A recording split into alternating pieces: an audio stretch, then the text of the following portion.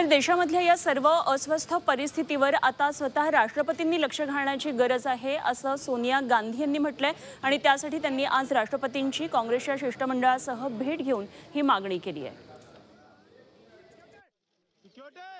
Situation in the northeast which is now spreading throughout the country uh, including the capital in the jamia university because of the act uh, is a very serious situation.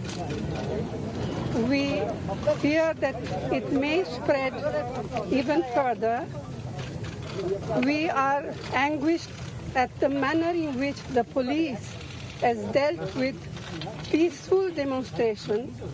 We have the example in Delhi where the police entered the Jamia women hostel and dragged the women students out.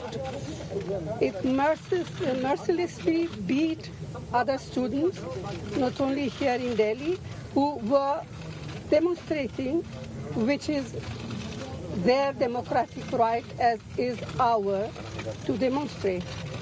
Uh, I think you all have seen that this that the BJP government, that the Modi government uh, seems to have no compulsion when it comes to shutting down people's voices uh, and implement legislations which do not seem to be acceptable to the people and to us in a democracy.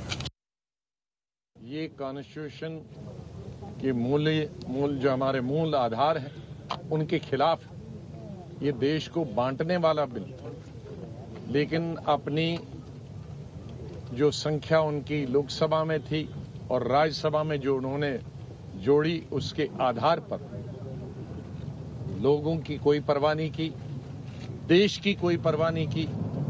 देश इस कानून को स्वीकार करे या न करे, उसकी कोई परवाह न करते हुए ये कानून बनाया।